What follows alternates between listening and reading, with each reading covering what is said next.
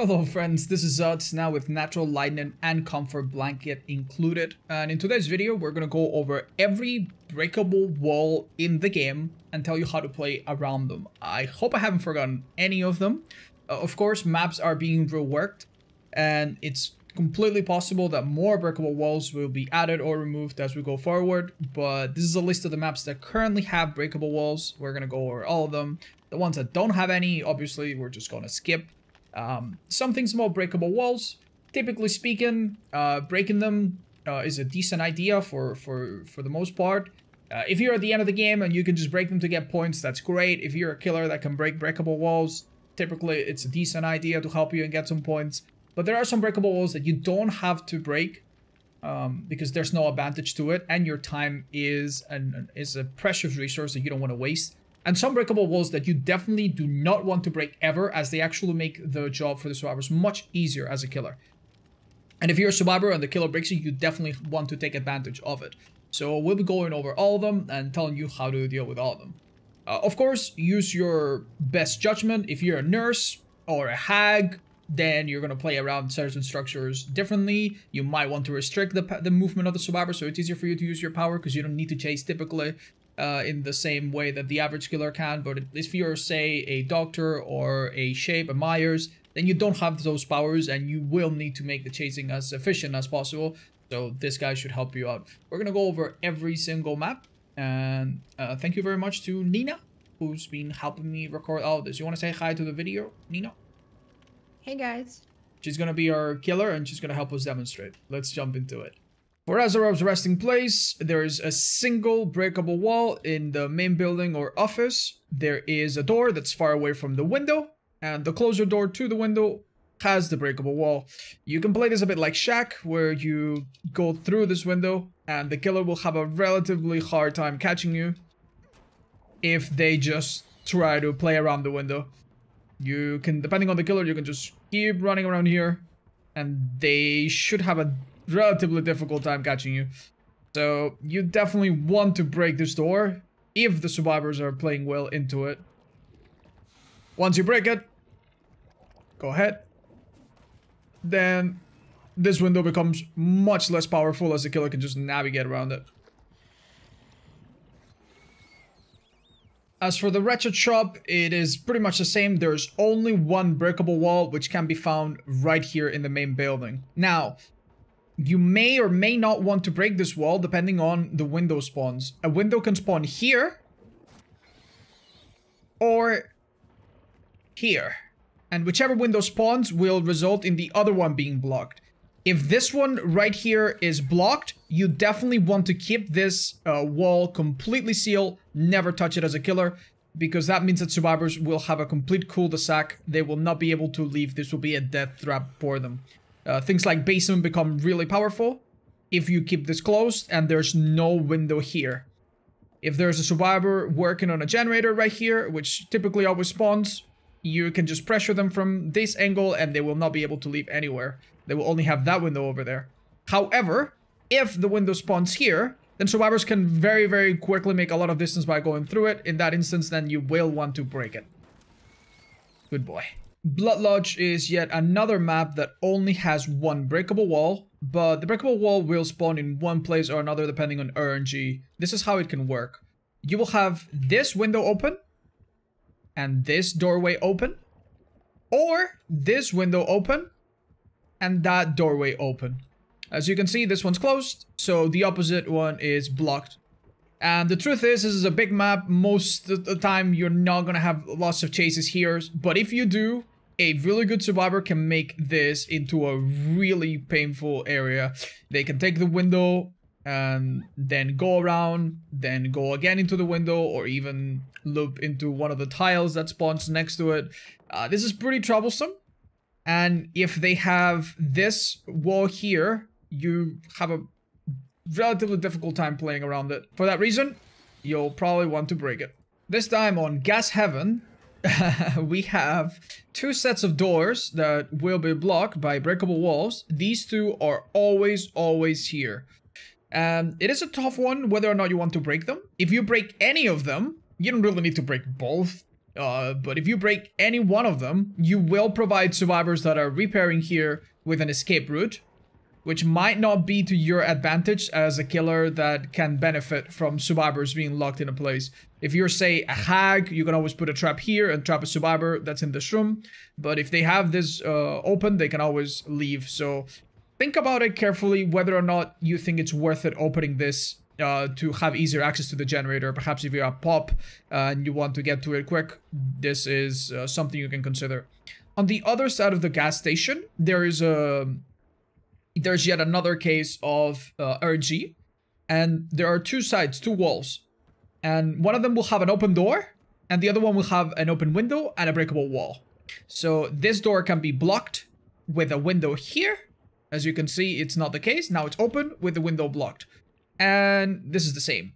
There might be no breakable wall here and then a block window or breakable wall here and open window. And whatever happens on one side, it will be the opposite on the other, like in typical fashion. As you can see, if a survivor is here and they vault, you will have a very difficult time catching up. You will need to go through the window, at which point they can just go around and loop you, or even go to this side and start using this pallet to create distance. You want to break this wall if someone takes you here, and in this map, they typically will. So yeah, you most certainly want to get rid of this wall, especially if it's on the other side, as it will be very, very strong for the survivors to be in the middle of the map and then suddenly go through this window, and you will not be able to follow them without breaking it. You will need to break this one, uh, most, most likely. Moving on to the Groaning Storehouse, we have another map with just one breakable wall. In this iteration that you are seeing on screen right now, this breakable wall is facing the corner of the map, but it is not uh, atypical at all to have it face the center of the map. Either way, it's gonna be used by survivors a lot. This wall here is very powerful. The killer cannot really gain much distance on you in any significant way for the most part. And the best thing they can do is the moment they are here and they have a they catch a break to break that immediately. Once this wall is broken, then this window becomes a lot less powerful, as you can imagine. As you can no longer play around it and the killer's not forced to vault it. Um, if you try to play it by itself, uh, you'll get you'll get caught sooner or later. So definitely break this wall the minute you have a chance. This time around on Suffocation Pit, we have just one breakable wall that will be found in the main building. Uh, one of the variants, the first one, is this one that you're seeing right now. This window right here being open with a breakable wall right next to it. And as you can see, if a killer tries to chase me here, I can go on a very, very long loop around it. And then eventually get back to the window, which is even stronger if you do it the other way around. So a killer trying to follow me through the window here would be pretty damn difficult for them. They will typically, if a chase happens here, they will typically have to break this door. And once that happens, this window becomes a lot less powerful because the killer has a very short path around it and the chases here will be a lot more dangerous. So that one, if someone takes you here, you'll need to break. And the second variant looks a little bit different. The window gets blocked and the doorway gets open, uh, but on the other side, this doorway gets blocked by a breakable wall and that window gets open. And that is a pretty powerful window. Survivors can take you on a chase and go around, use this pallet, go all the way around, go anywhere else they might have and you need to play around it. But the, the the fact of the matter is that breaking this door doesn't really change it. Um, a survivor playing around this palette, which is always here, going into this window, um, it can play out a little bit like this, for example, where you go over the window and yeah, sure. Uh, breaking this might help with navigation a little bit, but it is not a really must uh, in terms of like ending a chase. So if you want to break it, go ahead and do it. But you don't really have to, especially if it doesn't help your navigation all too much. Moving on to the Ironworks of Misery, there is one breakable wall that will always spawn in the main building right in there. If you do break it, it might help your own traversal of the map, getting to basement, getting to the hook that can sometimes spawn here. Uh, but other than that, you really don't need to break it, as it will also open uh, additional paths and make survivors' uh, routes a little bit more unpredictable. By all means, you can totally keep this one locked. The next door that we'll find with a breakable wall can be found on the upstairs. And it's either going to be here with a window next to it, or alternatively, it can be there with a window next to it. And obviously, if the window's not, it will be it will just be blocked. Now, if a killer is chasing you and you have a little bit of distance, like right now, you can go over this window, and if they vault it, you'll have a lot of time to go around and maybe even take them for another loop or make it to one of the pallets downstairs. However, if the wall is broken and you vault the window, the killer will just step around it and hit you. And that means that basically as a killer, you don't typically come here by yourself. But when you do, you pretty much want to break this door before the survivors can take you on it again. If you vault the window, you might catch up to it to the survivor quicker, but then they can take you here yet again. So it's typically not worth the risk. Just break the wall and catch a survivor. On to the next one, everyone's favorite map. We have Coal Tower. And this map is quite interesting. You have breakable walls on the bottom and the top floor. And the top floor ones, I genuinely think you just don't want to break. Now, typically you will find a generator here, and breaking this breakable wall will just give the survivors more escape routes. Unless you have some big brain mind game, uh, and you expect to catch a survivor off guard that's running you around this building, these breakable walls on the top floor you could just completely ignore. Now the ones on the second floor, on the bottom floor are a different story. As you can see, these ones are pretty strong. If a, if a survivor's running you here, they can go around and reutilize them. Once you break those walls here, which can spawn in a number of places, you will have an easier time dealing with these windows. You don't need to go out of your way to do it early, but the moment a survivor begins to chase you here and you have the opportunity, break them, it will typically be worth it. The first of Ormond's few breakable walls can be found on this little hut, and honestly, do not bother ever. If you chase a survivor up here, and you chase them just a little bit, I guarantee you 10 times out of 10 they will vault this window immediately. You only need to fake it a little bit and then go around and eventually catch up to them right here or before they get someone else. Don't bother breaking these walls. Um, Trust me, it's not worth it. The next breakable wall is on the bottom floor of the main building, and it can spawn either here or here. Now, this one here, honestly, is not that big of a deal. It prevents survivors from immediately going upstairs, uh, and it blocks your path, so it's a pretty fair trade. Uh, if it spawns here, I typically don't ever break it unless I really need it for for managing uh, hooks or something. Uh, that's very, very crucial. This one there, however, is fairly strong, as this window can be pretty strong for both sides. Uh, Survivor can run through here with you behind them and then immediately go around here. Uh, check through here where you're going. If they see you, they can go the other way. If they don't see you, they can keep moving and find shack and everything on this side of the map. Uh, if this wall stands, that's going to be difficult. If this wall is broken, then you can chase them right off and probably catch them. They won't even get away with that. This other breakable wall also in the bottom floor, I don't think is a huge deal. If you break it, survivors actually have an easier time going from the generator to one of the pallets that can spawn here. So again, unless you need it for mobility yourself, I don't recommend you just break it outright.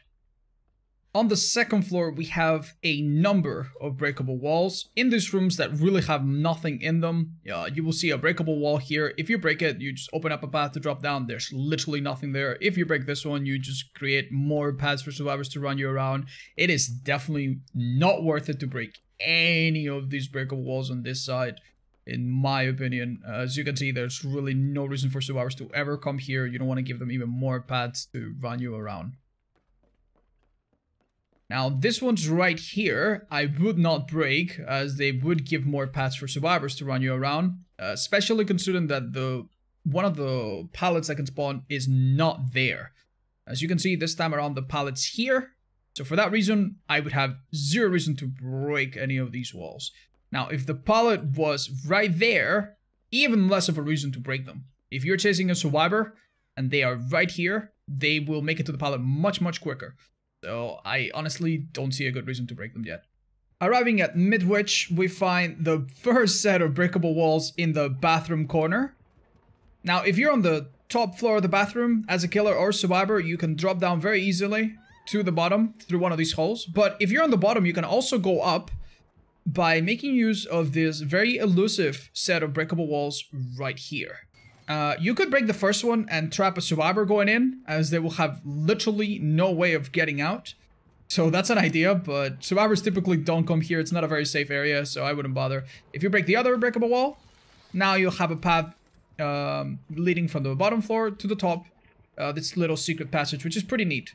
However, uh, as I said, this corner is already a death trap for survivors. Once you drop this pallet and the killer breaks it, you are now stuck here and you cannot really get out. You don't want to give them a chance to outrun you uh, or go anywhere else. So I say, unless you really have a plan for it, don't bother breaking these walls at all.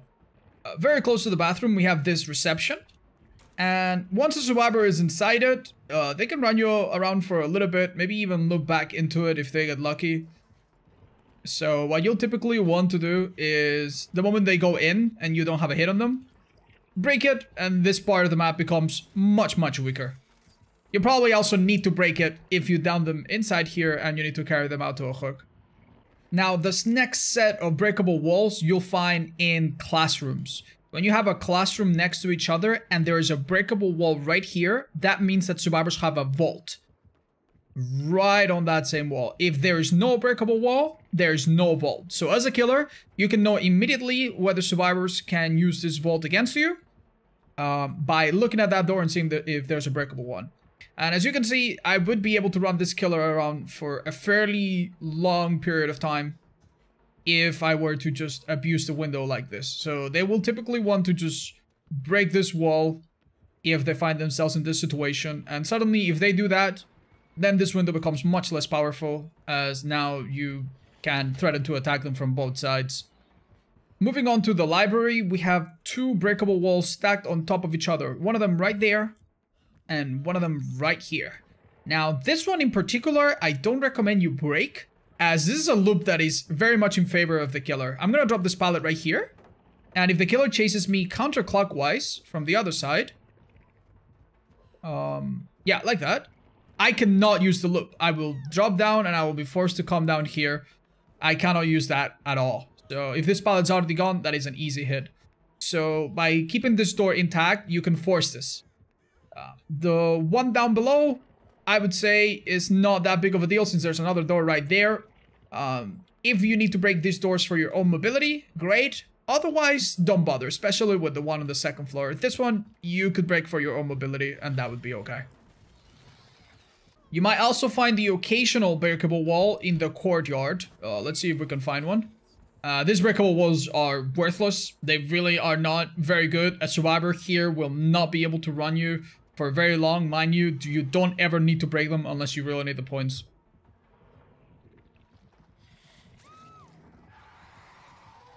Up next, we find the Thompson House breakable walls. And there are two of them on the bottom and the top floor, right on top of each other. And they play out exactly the same. You have a very strong window where if a killer is chasing you, they would lose a significant amount of distance if they vaulted. Uh, enough for you to perhaps make it to the next safe spot. However, if this wall is broken, and our killer can demonstrate right now, suddenly this window becomes fairly useless and you will need to move away. And as I said, the one up top is basically exactly the same. Um, if the killer breaks the wall, then this window that would otherwise give you a lot of distance becomes fairly obsolete. That's it. Break them if you need to. Moving on to the Fractured Cowshed, the only breakable walls are in the main building, and they are that one and that one, and as far as I understand, they are fairly fixed, and that's it. Now, if you break that breakable wall, you will be opening up a powerful path for the survivors to reach this pallet, or to go from this pallet to inside and then around. I don't think you should break this one, personally. Now, this window is fairly strong, so the other one should be broken.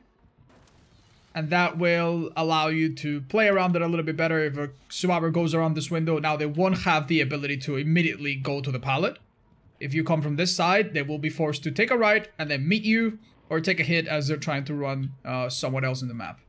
In Torment Creek, things are a lot simpler. You have, in the main building, this very powerful window, where if a killer chases you, come come, you can just vault it and play around it and they would need to waste a significant amount of time catching up, and you could probably do this multiple times if the killer chases you like this. However, the moment that they break the breakable wall, now this window becomes way less powerful, and the loop is a little bit more manageable. Now, you can still play it on the long side, but it's not as simple. Time for the Rancid Abattoir, and I believe this map only has one breakable wall, which is found in the main building. It's right here, and if you break it, it can help you deal with this window. Uh, this window can seem intimidating, but there's actually a really neat trick that you can use as a killer if you're on the inside. If a survivor tries to get through the window, all you need to do is get here as they approach it and hit them right over the fence. I'm going to demonstrate it. Oh, okay. I'm going through the window. I'm going through the window. And that can be a really good way to deal with it. You don't need to break it right away. However, uh, especially if the building is facing one of the sides and you're having a lot of issues with survivors vaulting into the building, maybe not so much if it's facing the edge of the map, then you can totally break it. And it will make dealing with this window a lot easier. Because now survivors going in, you'll be able to zone them out and maybe get a hit.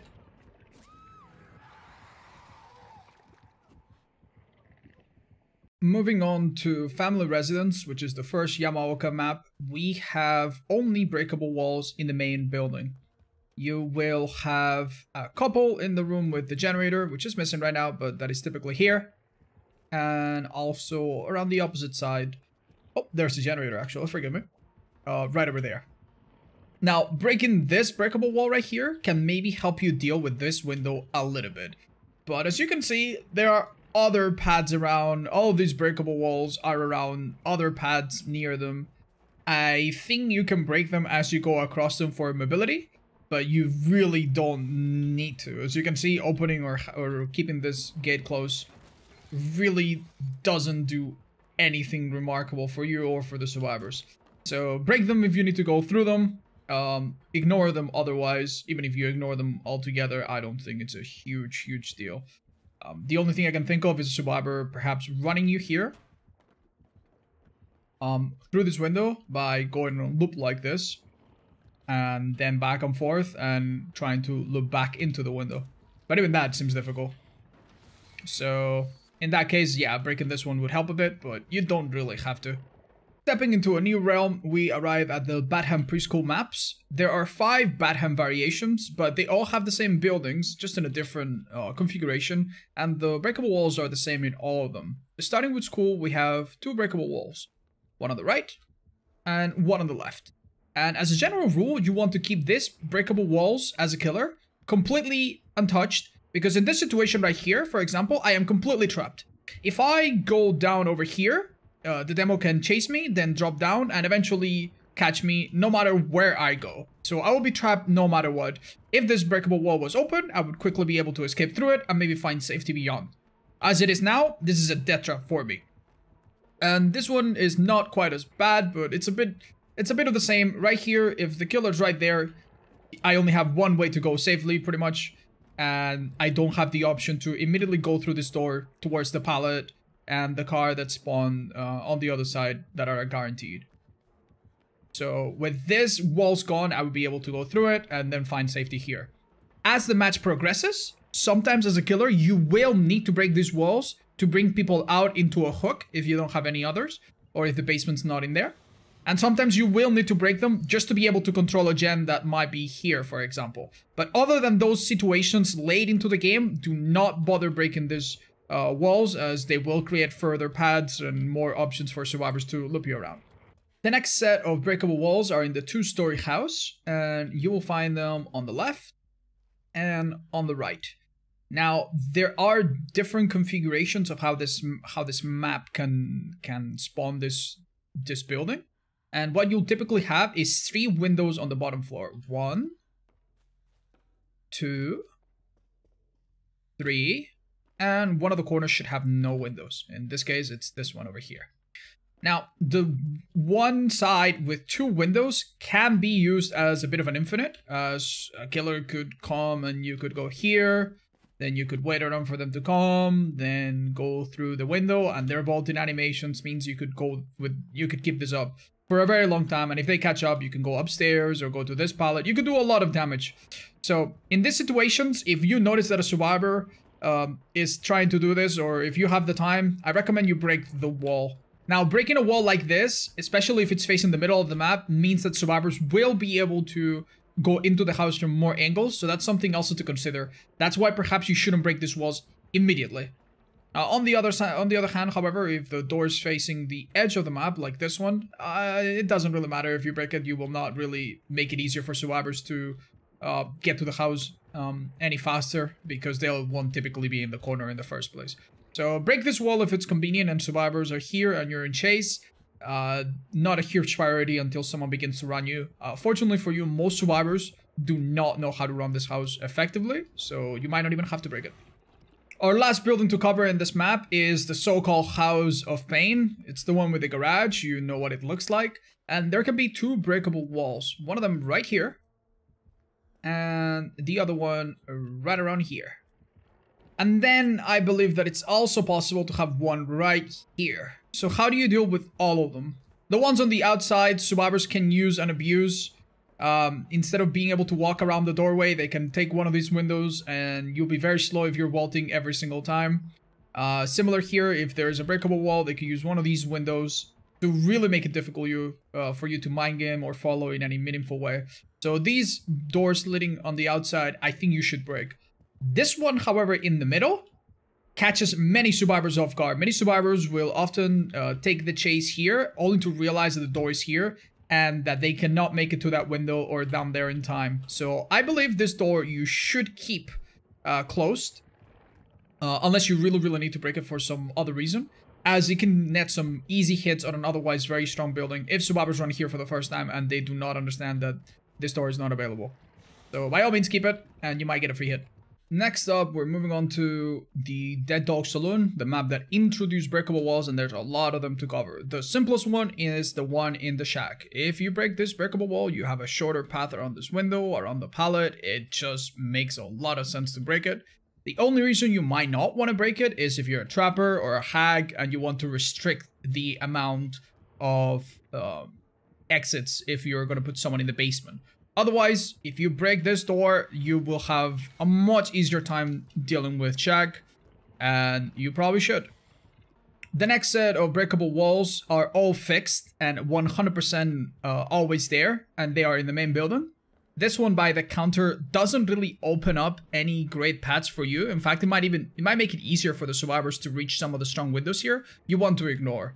Uh, a similar things happen happens with this one over here. You don't really want to break this, uh, unless you have basement on the other side and you have some play to make, you don't need to break this one at all.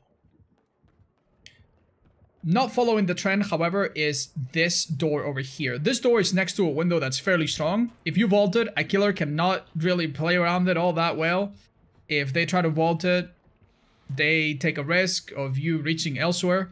So breaking this door um, this breakable wall against decent survivors is probably a good investment. An even better investment is this one. Now I did I did a medium vault here, but if you're a decent survivor, you can actually do a running vault like that. And this window is very, very powerful. Uh, for that reason, break this breakable wall any chance you get, and it immediately becomes a little bit less powerful as killers can walk around it. Uh, another door that doesn't seem all that important, but that can actually be fairly good, is this one over here. If you have a minute to break it, you will be able to pressure the generator a little bit better. Um, if the generator is still up, a survivor working on it uh, might see you come, they will come over here, and if they try to drop through the window, you can immediately see them and then drop yourself and hit them. And if they keep going, you can chase them over here. So if this if this generator is still being contested and you really want to defend it, this can be worth uh, your while. Uh, then we have this tiny little room right here. And sometimes survivors will come here for absolutely no good reason. There's actually no way to get out of here. If a survivor is down right here, you won't be able to hook them. If they do go down, you want to break the door going outside and then take them to a hook over there. At no uh, at no point ever, in no under no circumstance, you ever want to break either this or that door. Let me show you what happens if you do. you will turn this completely dead area that survivors would typically never want to vault into because that would be dead into an actual loop where survivors can go through and then immediately loop back into the other window. And you could probably run a killer a long time just going around. And since they have to deal with this vault, it would take them a long time to catch up. So never break this one. And if they break, if you break that one, it will be a similar thing where survivors will be able to go right through, come out of this way, and then take the window. So these two, these three doors, you should largely ignore unless a survivor goes into this room and goes down, in which case only break that one to get out. Now, there are a lot of structures in this map that mimic other structures in other maps. This is like a four lane wall and the breakable walls are almost always worth breaking in these to make them better. Uh, however, if you identify that it's just a falling wall and this pallet is not that safe, this one, for example, you don't really need to break. Although if you do, you'll probably be glad as the survivors will have now even less resources as this window becomes really unsafe once that is broken. Other structures like this, however, are much, much stronger. A survivor can wait right here. And no matter where you come from, they'll be able to run one way or the other. And they could be here a fairly long amount of time. Uh, you definitely want to break this breakable wall to deal with this one. If you feel like a survivor is decent. You will also sometimes have other breakable walls uh, in structures like this that are worth breaking. And here is such an example. This one's quite naughty. Now, this pallet here is very easy to play around. Uh, come, Mr. Killer. If a survivor drops it, and then they try to play around it, you don't even need to break it. If they vault, you can hit them right over this railing. Let's demonstrate. So, try to keep your back against that window, and this is easy to play. However, uh, what if the survivors try to use this window? Mm, then that's kind of troublesome. You might want to break either of these walls to make it a little bit less troublesome. In a corner of the map by the water mill, you also have this tiny little shack that has a window. Sometimes some smart survivors will play around this pallet and then vault into it. And you could break it to make this a bit less safe, but typically speaking, if you chase in the right direction to not give this vault and then get rid of this pallet, this shouldn't be much of an issue. Unless it's extremely convenient, uh, don't bother breaking this one. Moving on to the game, uh, the main breakable wall that you're going to see in this map is this one that spawns exclusively next to the sliding doors. And these sliding doors always, always spawn next to a gen that needs to be repaired. Now, before the generator is completed, um, a survivor in a situation like this is completely cut off from any escape route, and a killer coming into a room like this will have a field day because it's basically a free hit.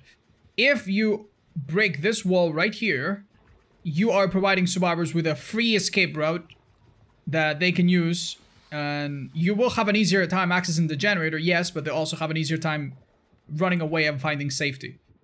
So breaking these walls, I think in general, is a bad idea unless you really, really need to for hooking or very, very desperate generator repair um, stopping purposes. Once the generator in question has been done, then opening or breaking this breakable wall is completely pointless, as you can see, because there is a there's another path right next to it, so it's literally pointless afterwards, and I would say quite a bad idea beforehand. And I think that's pretty much every breakable wall that you'll see in this map. Arriving to the Father Campbell's Chapel, uh, there are a number of windows in the bottom floor of this map. And they can all be pretty powerful. You can have a window there, there like we have right now, here as well. This wall can be a window sometimes. Every wall that spawns here can be really powerful. There can be one right here, and you will need to deal with them. Um, however, uh, I think there are two exceptions, and I think it looks like we got lucky. Any wall spawning on this side, I think you would typically want to break. However, uh, this door right here does prevent the survivors from reaching this building, and it can stop their progress a little bit if you yourself do not have an issue getting to that generator because you're a nurse or because uh, the layout of the map allows you to get there however you want, maybe your teleport ready, you do not need to break this door. as it actually forces survivors that are here to go to a less optimal side where you may catch them. Occasionally, you will also have a door right here, and this door is pretty good as it can force survivors that run up here to not be able to run up there and instead have to take the vault. And then you can follow up through that open doorway and catch them. So door here and door there, uh, you might not want to break, especially that one up there. Every other door, especially if you see a survivor begin to run you around some of these really strong windows, you will typically need to deal with, as otherwise survivors can run you almost indefinitely here, or at least for a very long time, um, making it a worthwhile investment to just break them. Uh, moving on to the uh, asylum, the disturbed ward of it. Um, this is a fairly complex building, but it turns out there's only one breakable wall. I don't think there's any other, and it will spawn right here, right next to this green room. The green room uh, has two windows available. This one and that one. Only one of them will be open at a time. If that one over there is the one open, you can come here as a killer and catch a survivor dropping without even going through it. If this other one is available, then breaking this breakable wall becomes a little bit more attractive to deal with it. But it can also open up a an escape route and an entrance into the asylum for survivors coming from this area. So break it when you feel like it, maybe not right at the start of the match. And I believe that with that, we've covered every single breakable wall. But if I did forget one, or if one gets included in a patch shortly after this video, and you know how to deal with it better than I did, uh, please let me know. It will help me and anyone else watching the video if they check the comments out. I'll be seeing you. Bye-bye.